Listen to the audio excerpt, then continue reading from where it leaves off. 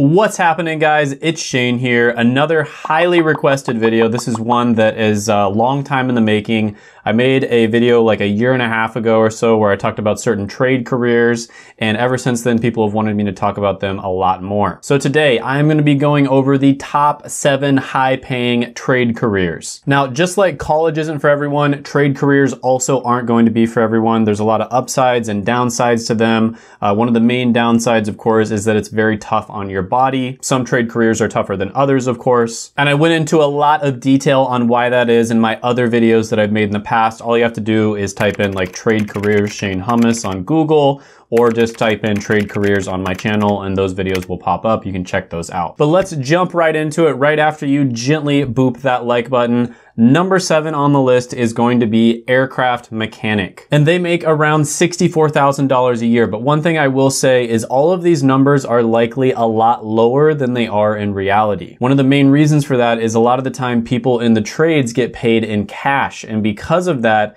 it's not necessarily the same as getting paid, you know, with a direct deposit into your bank account. And so with the ways uh, where sites like BLS, the Bureau of Labor Statistics here in the United States, uh, calculates how much someone gets paid, it's going to be a little bit different if you are in a career where you handle a lot of cash, right? So these numbers are likely a lot lower than they are in reality. Keep that in mind. It's probably like ten to twenty thousand dollars off at least. But anyways, aircraft mechanics, sixty-four thousand dollars a year. That's still pretty good. And I think it's pretty obvious what they do. They're going to help uh, keeping aircraft flying safely by performing routine maintenance and repairs. They have to be not only very good at the mechanical side of things, but also the electrical side of things as well, as those two things are very interconnected, especially in aircraft. They'll also spend a significant amount of time inspecting aircraft, a lot more than someone would say if they became a car mechanic. Next one on the list, number six is going to be an electrical and electronics engineering technician. So this one is a little bit more on the technology side of things, and they make around $65,000 a year. Now, a lot of the time you are going to be working under the supervision of someone like an electrical engineer, and it's a very hands-on job where a lot of the time you'll be repairing electrical systems. But not only that, you'll be inspecting them, performing routine maintenance, and testing them as well. Next one on the list, number five, is going to be an electric lineman. These are the brave souls that climb on top of the electric lines whenever your power goes out and restore power to the entire neighborhood. Along with repairing it, they also do installation and maintenance. You're to be spending a lot of time outside, and you probably don't want to do this career if you're afraid of heights.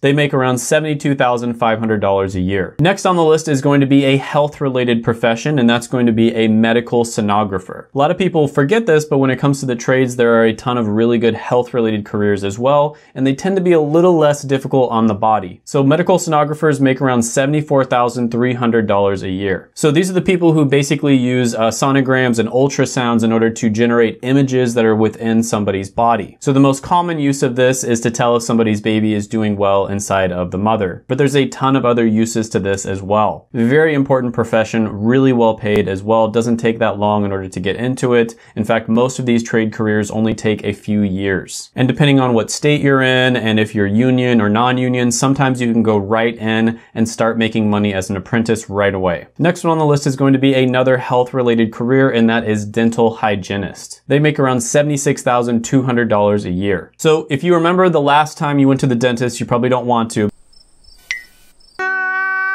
But if you remember, you probably spent like maybe five minutes with the dentist themselves, and you probably spent more like 20 or 30 minutes with somebody else and that other person was likely a dental hygienist. They work under the supervision of a dentist and their specialty is preventative care. So basically preventing oral diseases. So they examine the mouth for disease, they take x-rays, they perform cleanings. Can be a fantastic career for the right person as well. Next one on the list is going to be a power plant operator and they make over $81,000 a year. And they are the ones who are going to be looking after and managing a lot of the equipment that's used to generate electricity. And there's so many different ways to generate electricity these days. There's solar, there's nuclear, there's coal, there's gas, etc. So there's a lot of different types of power plants that you can work at as a power plant operator. And a very similar career is going to be number one on the list, and that is nuclear technician. Nuclear technicians would also work at a power plant, specifically a nuclear power plant. And they would make sure that the nuclear reactor is operated safely and efficiently so another Chernobyl doesn't happen. So they would obviously be monitoring the equipment,